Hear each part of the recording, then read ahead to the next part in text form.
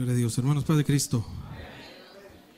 Le damos muchas gracias a Dios por estos momentos que el Señor nos concede. Eh, un culto más. Que podemos estar juntos con la juventud. Eh, ¿Cuántos están orando, hermanos, por los jóvenes? Dios bendiga, hermanos, mucho la juventud. El Señor les dé mucho de su gracia. El camino, hermanos, que la juventud ha emprendido no es un camino, hermanos, liviano. Un camino muy fácil. Eh, no es, hermanos, cualquier cosa ser joven cristiano. La palabra de Dios a nosotros eh, nos enseña en el capítulo 3 de Lamentaciones. El versículo 27 dice la escritura de esta manera, y yo quisiera, hermanos, que los jóvenes pusieran atención. Y la razón que les pido esto, hermanos, porque yo me pongo, hermanos, en el lugar de ustedes y mi memoria, hermanos, empieza a acordar momentos preciosos, momentos dulces, y me recuerdo cuando el Señor tocó mi vida. Y yo vuelvo, hermanos, a vivir esos tiempos. Y le doy la honra y toda la gloria a mi Dios, porque un día el Señor tuvo misericordia de mí. Y mayormente le doy gracias a Dios porque hasta el día de hoy el Señor me tiene en pie. Yo recuerdo, hermanos, que cuando el Señor tocó mi vida, yo tenía 17 años. A los 15 años yo ya estaba sintiendo la presencia de Dios y, me daba poquito temor. Mis padres nacieron dentro del Evangelio. Ellos estuvieron también en el coro Mensajeros de Gran Rey. Para quizás si algunos no conocían eso. Mi padre ahorita tiene 69 años de edad. Tiene una vida entera en la iglesia. Las instrucciones de ellos hacia nosotros era el camino de Dios. Ellos se conocieron en el coro, ellos se bautizaron, ellos estuvieron dentro del coro mensajeros de Gran Rey y la bendición vino hacia los hijos de ellos. Y yo le doy las gracias al Señor por todo ello. Yo crecí con los niños, yo crecí con los juniors, a los 15 años el Señor empezó a tocar mi vida de una manera especial. A mí me daba miedo, hermanos, venir a la iglesia porque era muy fuerte lo que estaba sintiendo. Y yo me aparté en un tiempo de venir a la iglesia porque tenía mucho miedo. Pero un día el Señor, hermanos, tocó mi vida. Y una manera, hermanos, inolvidable. Porque muchas veces el hombre piensa que él va a caminar solo, que todo depende de sus fuerzas individualmente de cada uno de nosotros. Pero si los jóvenes, como dice la palabra de Dios, son fuertes, son fuertes en Dios solamente. Si hemos de vencer, vencemos, pero por medio de Dios. El apóstol San Juan decía, os escribo a vosotros manseos porque sois fuertes y habéis vencido al maligno. Fuertes en Dios. Fuertes porque tenemos a Dios sobre todas las cosas. Yo recuerdo, hermanos, que yo llegué en una convención y el Señor me tocó de una manera especial. Los hermanos me tuvieron que levantar de la oración. Yo no sabía ni lo que era lo que estaba aconteciendo. Los hermanos decían, el hermano recibió el Espíritu Santo. Yo no sabía lo que era eso. Yo, pero lo que estaba sintiendo era algo que el mundo no me pudo dar. Algo que solamente el Señor me lo pudo dar. Y yo sabía que de allí en adelante mi vida iba a cambiar. Yo le dije al Señor, Señor, entrego mi vida a ti. estoy en mi juventud.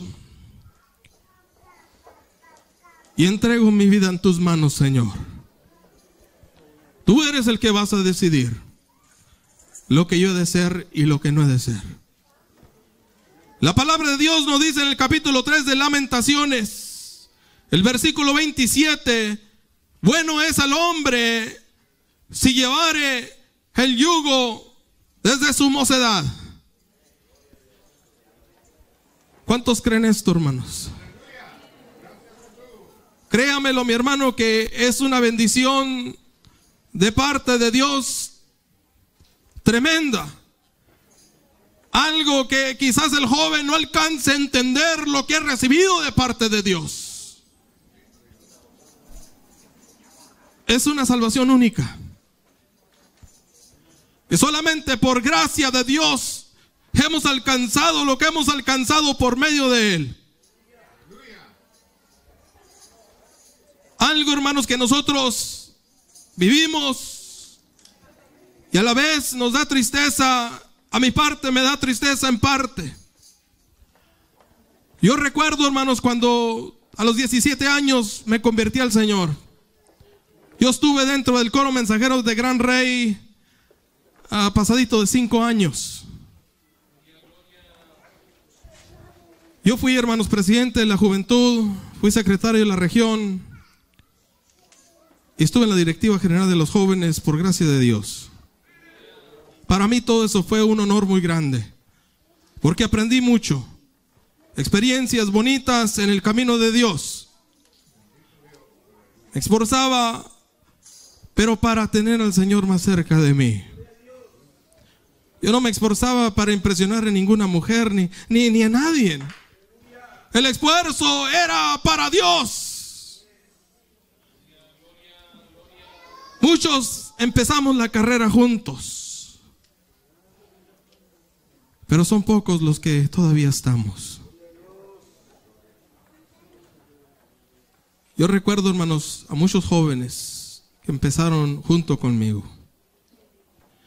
Yo me gozo, hermanos, de, ver, de veras a... Aunque él no, quizás no lo no, nunca se lo he dicho, pero yo me gozo mucho, hermanos. Eh, me da mucho gusto ver a mi hermano Fernando Martínez. Porque yo y él militamos juntos como jóvenes. Quizás yo nunca se lo he dicho, pero me gozo, hermanos. Me da mucha alegría de verlo como pastor al frente de una iglesia y le damos la honra y la gloria a Dios porque sabemos que el que lo ha sostenido es Dios.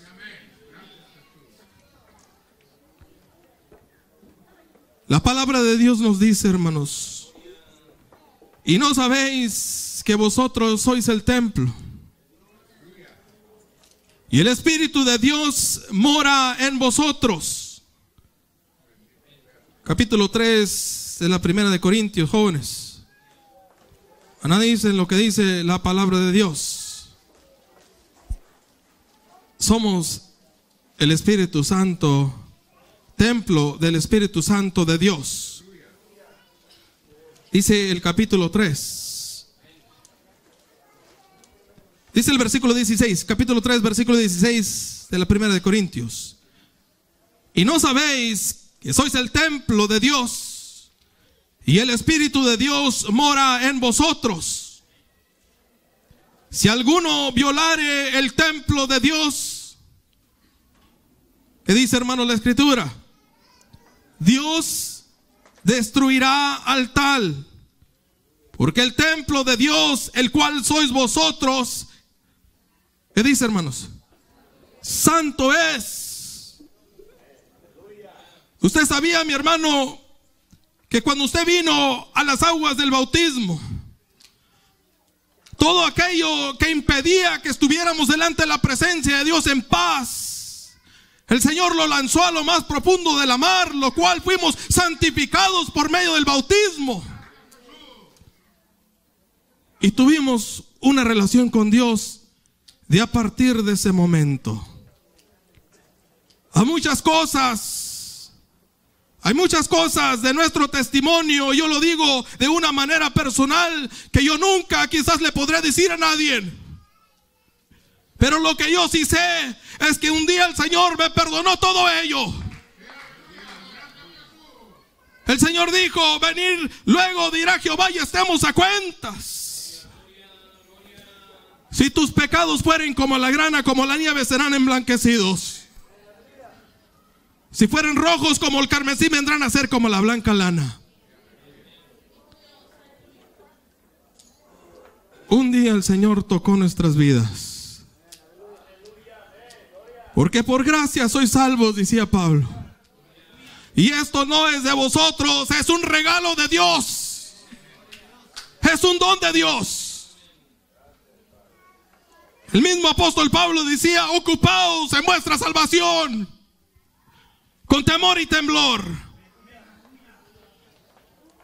Lo que el Señor limpió, lo que el Señor santificó, no debe en ninguna manera contaminarse con las cosas del mundo.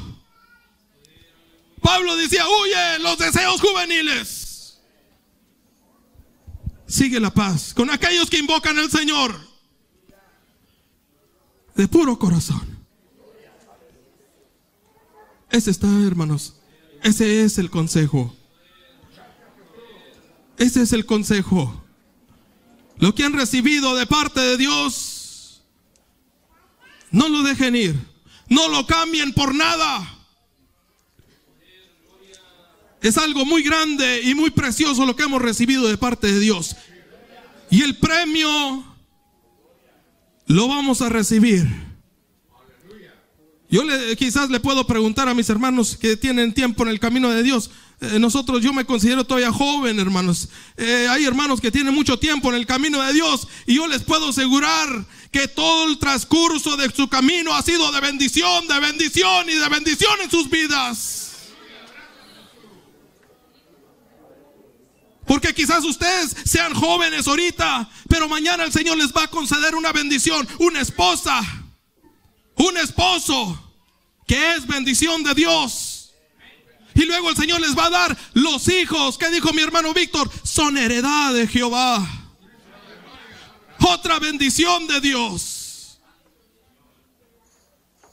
El tener un apoyo de tu esposa es una bendición de Dios que los dos juntos estén en el camino de Dios y luego vienen los hijos que se convierten.